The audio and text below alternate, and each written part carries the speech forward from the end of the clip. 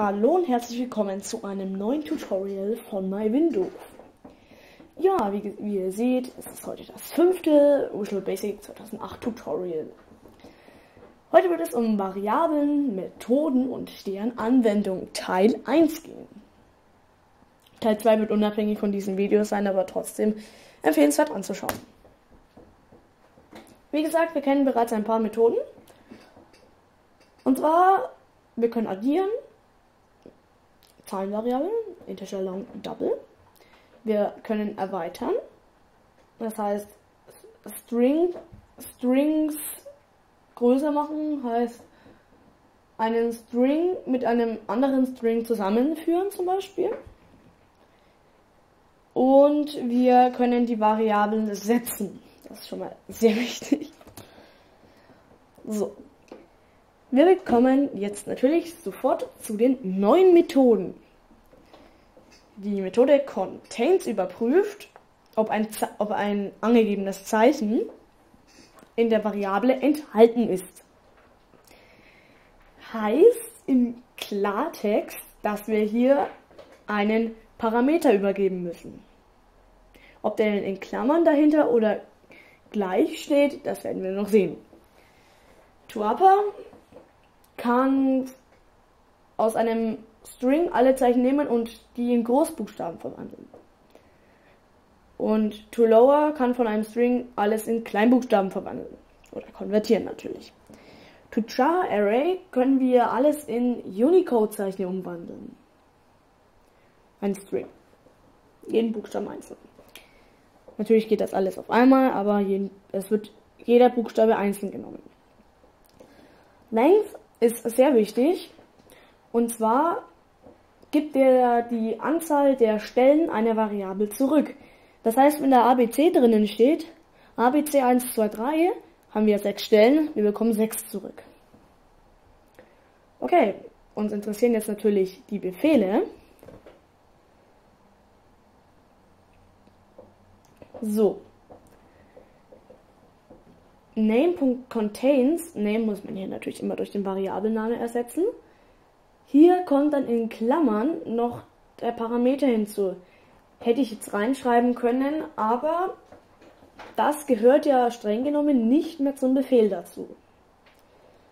Name.toUpper wird alles in Großbuchstaben konvertieren, Name.toLower in Kleinbuchstaben, Name.toCharArray brauchen wir keine äh, Parameter hier. Wir, wir bekommen auch keine Parameter zurück bei diesen drei. Hier müssen wir einen Parameter angeben und bekommen true oder false zurück. Also wir bekommen eine Boolean-Variable raus. Also keine Variable, einen, einen Boolean-Wert. Und da unten, ich weiß es nicht, ob man es noch ganz gut sehen kann, hier steht jedenfalls name.length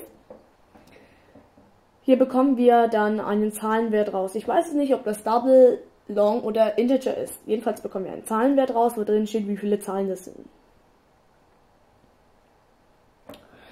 Okay, dann switchen wir doch gleich rüber zu Visual Basic. Fünftes Visual Basic 2008 Tutorial Variablen und Methoden. Also Variablen und davon die Methoden. Wir werden wieder eine Konsolenanwendung schreiben, da wir dieses ganze Design nicht brauchen. So, klicken OK, bekommen wir eine neue, boah, wie soll ich sagen, das ist keine Form, ein neues Modul. Ja, kann man durchgezeigt. Also, haben wir alles schon gezeigt. Konsole.WriteLine. Das heißt, hier wird wieder in die Konsole eine neue Zeile geschrieben und das soll jetzt drin stehen. Geben Sie eine Zeichenfolge ein. So, und mit dieser Zeichenfolge werden wir dann allerhand machen. jedoch ähm, werden wir erstmal hier ein paar Variablen benötigen. Dem Buch. Nein, machen wir erst mit dem Eingabe. Eingabe as String. Dann dem ähm, Buch. Mm, machen wir str unterstrich 1 s string und dem str ups, 2 s string dem str na hallo 3 s string okay so, und dann machen wir jetzt ähm, das, die Eingabe soll sein Konsole. Punkt, nein, nicht Readline, Readline. So, das heißt, er wartet so lange, bis eine Enter-Taste gedrückt wurde. Und ähm, ja, das wird dann das hier sein. Als erstes möchten wir natürlich das Contains abhandeln. Heißt, if Eingabe Punkt contains und jetzt machen wir mal in, Anführ in Klammern. Anführungszeichen dann machen wir mal a. Then ähm,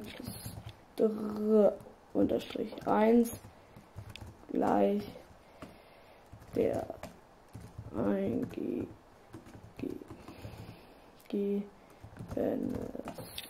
String enthält ein Ah. So. Dann schreiben wir einfach mal und was haben wir eigentlich noch? Ach ja, to upper. 2 Punkt. Nein. 2 gleich Eingabe Punkt to upper.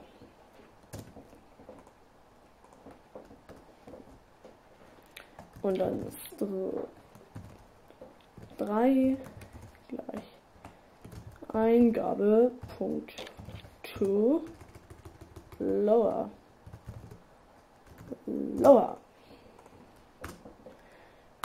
Tut mir leid, wenn es das ein bisschen schnell geht und wenn ich mich oft verschreibe. Ich arbeite dran. Ähm, to lower. Dann to char array. Brauchen wir einen neuen String.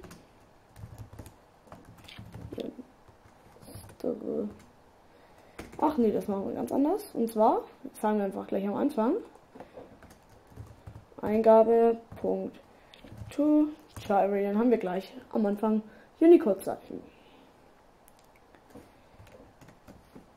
Gut, dann und daneben Punkt Length. Das machen wir oben drüber. Und zwar eine Bef ähm, Abfrage. If name. Nein, Eingabe. Punkt Length gleich 0 denn,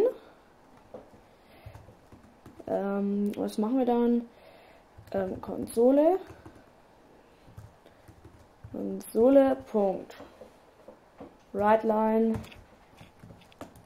Sie haben keine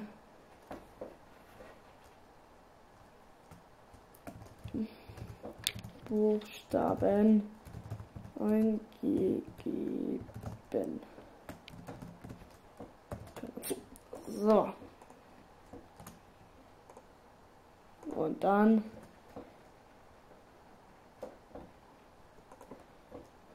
else. Heißt, wenn nicht, dann soll, das, soll der eigentliche Programmcode ausgeführt werden. Ja. Dann gibt es noch Length. Ähm, und zwar, ja, gleich. Und zwar, ähm, Konsole. Rightline, Klammer auf, ähm, der, der eingegebene String hat Doppelpunkt, Leerzeichen ups, und und dann Eingabepunkt Length und Leerzeichen Stellen. Also Klammer zu. So. Dann machen wir mal Konsole.WriteLine, Klammer auf, 1, Klammer zu. Jetzt können wir das mal kurz kopieren. Das wird auf 3 kommen. Und dann Konsole.readline, damit wir auch noch was davon haben. So, das ist eigentlich jetzt ein kleines Programm sogar schon. Kompilieren, kompilieren wir das mal. Nein. Wo ist mein Fehler? Hey, wo ist mein Fehler? Oh, was war denn das? Tut mir leid. Abbrechen. Kompilieren wir das, also die backen wir das. Die backen heißt eigentlich entwanzen, aber gut. Geben wir eine Zeichenfolge ein. Ich mache es mal my Windows A. Der String hat elf Stellen. Der eingegebene String enthält ein A. My Windows A, groß geschrieben, my Windows A klein. 1, 2, 3, 4, 5, 6, 7, 8, 9, 10, 11. Stimmt. My Windows A groß geschrieben, my Windows A klein geschrieben. Enthält ein A richtig. So machen wir dazu probieren wir noch ganz fix aus, ob, wenn ich jetzt nichts eingebe, ob dann auch das Programm uns quasi eine klatscht. Hm, hat uns eine geklatscht, bloß habe nichts davon gehabt, weil ähm, ja. Ähm, ja. Ganz einfach, weil ich hier kein Readline gesetzt habe. Und dadurch das auch sofort beendet wurde dann. Enter. Sie haben keine Buchstaben eingegeben. Beenden. Okay, das heißt, wir haben hiermit ein kleines, feines Programm geschrieben und können jetzt, Moment, da habe ich doch noch schnell die fix die Präsentation dazu bereit. Du, weiter, weiter. So, danke fürs Zusehen und nun kennt ihr viele gängige Methoden der Variablen und deren Anwendung. Teil 2 folgt noch. Das ist der Grundstein für spätere Programme. Bitte abonniert mich, meinen Kanal www.youtube.com slash mywindow. Danke.